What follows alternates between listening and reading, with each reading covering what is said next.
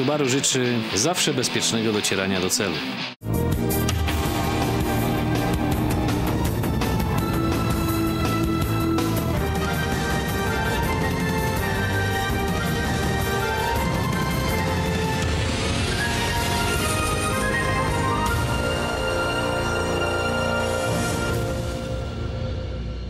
Dzisiejszy odcinek programu Jedź Bezpiecznie poświęcimy w całości rondu ofiar Katynia. Rondo ofiar Katynia nowe mamy już w Krakowie od kilku lat, ale kierowcy dalej sobie na nim nie radzą. Mamy na to dowód, maile od pana Jarosława i od pana Dominika, którzy proszą nas, żebyśmy wyjaśnili kierowcom, jak należy tamtędy jeździć. No, jak należy tamtędy jeździć? Po prostu stosować oznakowanie pionowe i poziome i będzie wszystko dobrze. Byliśmy już tutaj parę razy, ale jak widać jest potrzeba powrotu do tematu, dlatego chętnie przystajemy na prośbę naszych respondentów. Widzę, że robimy tutaj mnóstwo błędów wynikających albo ze zbyt małej koncentracji, albo z niestosowania się niestety do podstawowych przepisów. Obok nas sygnały dźwiękowe właśnie chyba o tym świadczą wynikających z znaków pionowych, poziomych to nie jest trudne, tylko musimy chcieć. No i właśnie, proszę Państwa, przykład, kiedy ten środkowy pas jest kompletnie niewykorzystany, wszyscy pchają się na lewy, a przecież ten środkowy nadaje się zarówno do zawrócenia, jak i do skrętu w lewo. Dlaczego zostaje niewykorzystany? Dlaczego jakoś tak bezmyślnie wjeżdżamy w jedno miejsce? Trudno to pojąć. No i myślmy o tym, żeby wypełniać to rondo, żeby nie zostawiać takich luk, dziur, żeby zajmować wszystkie dostępne nam pasy ruchu. Bo inaczej jest pełna blokada i czasami w ciągu czterech, pięciu faz sygnalizacji jesteśmy w stanie to rondo przejechać. Tak być nie powinno. To może ja zacytuję list od pana Jarosława, który pisze tak. Bardzo bym prosił o wyjaśnienie zajmowania pasów na rondzie ofiar Katynia, skręcając w lewo i zawracając z ulicy Konrada w kierunku Armii Krajowej. Kto może zająć środkowy pas ruchu, pyta pan Jarosław. Kto może? Mogą go zająć ci, którzy wybiorą lewy pas do zawracania, jest to jedyny pas do zawracania, bądź lewy pas do skrętu w lewo. Ten lewy pas na obwiedni ronda wyprowadzę na pas środkowy, z którego również możemy pojechać drugim skrętem w lewo, czyli de facto od strony rozpoczęcia tego manewru zawrócić, bądź wyjechać lewym pasem w Armii Krajowej. I tak jest na wszystkich kierunkach. No to w takim razie przejedźmy to rondo nieszczęsne dla niektórych przejazd od strony Nowej Huty z zawracaniem. W związku z tym zaczynamy z pasa skrajnego lewego. Gdybyśmy pojechali z tego pasa, na którym byłem przed chwilą, bez zmiany pasa ruchu, którą teraz wykonałem, to możemy tylko pojechać w lewo. Jak widać, rondo zaczyna się blokować. No i teraz, proszę Państwa, ci obok nas, widzimy ich teraz, muszą pojechać na skrajny prawy, natomiast my tutaj możemy zająć obydwa. I nie bardzo rozumiem, dlaczego ten pojazd, to polo przed tym y, srebrnym Suzuki, tak pojechało okrakiem. Tym bardziej, że było tam miejsce. No a w tym momencie już niestety złapało nas światło czerwone, już nic nie zrobimy. Pewnie gdyby te auta ładnie rozłożyły się na powierzchni ronda, jeszcze my byśmy zdążyli na tamtej fazie sygnalizacji świetnej. No, ponieważ niektórzy nie wypełniają tego ronda w sposób właściwy, ono się tym bardziej blokuje. No i właśnie, możemy wjechać teraz tutaj i z tego pasa również dozwolony jest skręt w lewo, jak widzimy, czyli w konsekwencji zawrócimy to, o co nam chodziło. Zbliżajmy się tutaj ładnie, jadąc zderzak w zderzak, nie tak jak ten obok stojący biały BMW, który no po prostu nie szanuje tego miejsca. Patrzy się na nas, zamiast podjechać, żeby nie blokować. Na moje wskazanie ręką zrozumiał o co chodzi. Przynajmniej tyle. No i teraz jedziemy do prawego krawężnika, bo tak nas prowadzi pas ruchu, tak linia prowadząca wyprowadza nas na prawy pas. Są linie prowadzące, jednoznacznie wskazujące, jak mamy się zachować. Jest to proste. Natomiast kierowcy, no myślę, po pierwsze nie są odpowiednio skoncentrowani, po drugie mają taką jakąś tendencję wpychania się. Najgorzej kierowcy jeżdżą z ulicy Konrada w Armii Krajowej. Nie mogą sobie poradzić z tym skrętem. No jest duża potrzeba wyjazdu ze strony galerii handlowych i poprzez powierzchnię ronda wydostanie się czy do centrum, czy to w innych kierunkach, zawrócenia w kierunku huty.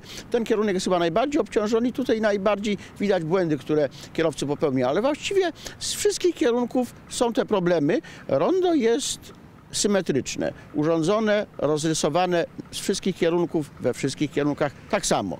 Także to, co pokażemy dziś obowiązuje na wszystkich kierunkach i naprawdę stosowanie się do tego nie jest trudne, a myślę natychmiast spowoduje poprawę bezpieczeństwa i płynności ruchu na tym skrzyżowaniu.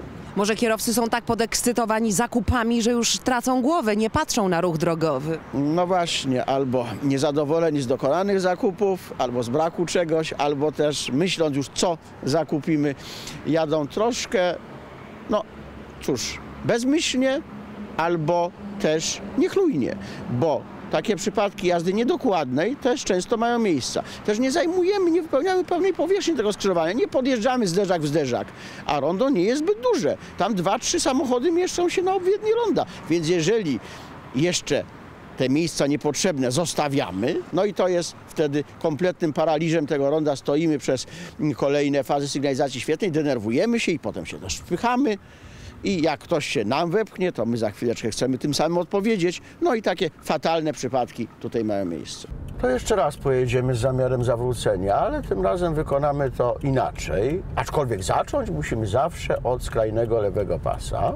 Ten, który zostawiamy teraz z naszej prawej strony, będzie do lewoskrętu. No i patrzmy też, żeby tutaj nie blokować się. No bo pytanie, dlaczego ten Seat pojechał na przejście dla pieszych, nie mając miejsca za przejściem dla pieszych? No powinien był czekać tu, gdzie ja czekam, prawda? Także ja cały czas patrzę, dopóki nie będę miał miejsca za przejazdem, to nie wjadę. Teraz już mam miejsce za przejazdem dla rowerów, no to wjeżdżam i teraz myślę, czy zmieszczę się dalej. No jeszcze się zmieszczę. Ale różnie się mogła sytuacja ułożyć. Tak na raty musimy to skrzyżowanie rozpatrywać. No i właśnie pytanie, dlaczego ta Ibiza chce wjechać na ten pas wewnętrzny, jak przecież może pojechać środkowym? Za bardzo obciążamy ten pas wewnętrzny. No w związku z tym znowu zostaliśmy na świetle czerwonym, no bo miejsca już nie ma. A ten środkowy był pusty. Niepotrzebnie. Przecież z niego też można pojechać zarówno w kierunku Nowej Huty, jak i w kierunku centrum Krakowa w Armii Krajowej. Jestem zablokowany przez BMW, które oczywiście na skrajny lewy, zostawiwszy mnie w tym miejscu. Mam zielone światło, jako pierwszy powinien wjechać na skrzyżowanie. No być może ja tu zostanę, proszę Państwa, na kolejną sygnalizację świetlną, bo teraz ruszywszy, będę musiał popatrzeć w prawo, czy przypadkiem nie ruszyły te pojazdy na zielonym świetle. Jeżeli ruszą, no to, to nie mógł pojechać. No jeszcze się udało, proszę Państwa, ale to nie tak ma być.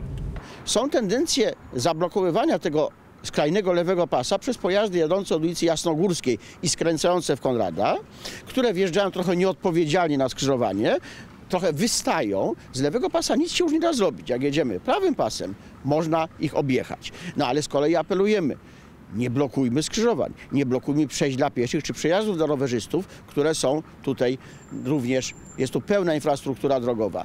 Więc etapowo wjeżdżamy. Mam miejsce, wjeżdżam zatrzymam się albo na pasach dla pieszych, albo na przejeździe dla rowerów, albo zablokuję wylot z ronda, nie wjeżdżam. Etapowo przesuwam się do przodu, cały czas patrząc na zmiany sygnalizacji świetnej. Ale możemy jeszcze zdradzić kierowcom pewną tajemnicę. Mianowicie niepotrzebnie się tutaj tłoczą, ponieważ mają inny sposób na wyjazd spod galerii handlowych. Co to za sposób? Tak, jest alternatywa. Mamy tak zwane rądko przy ulicy Sosnowieckiej, które pozwala na jazdę płynniejszą i jest tam znacznie mniejszy ruch, a wyjechać można we wszystkich kierunkach. W kierunku Olkusza, w kierunku Pasternika, na autostradę małopolską do centrum. Możemy wtedy i tak chyba najlepiej skorzystać z tunelu.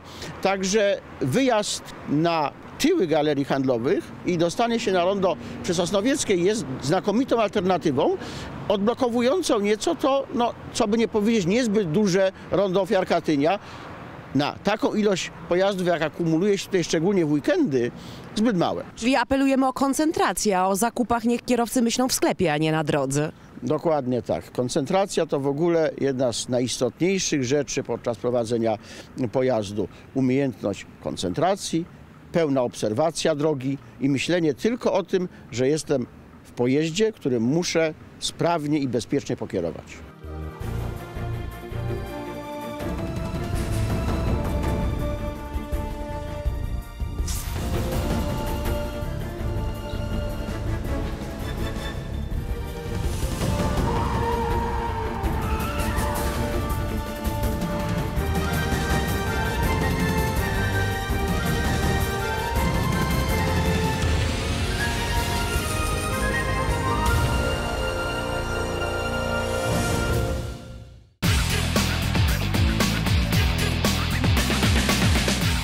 Subaru życzy zawsze bezpiecznego docierania do celu.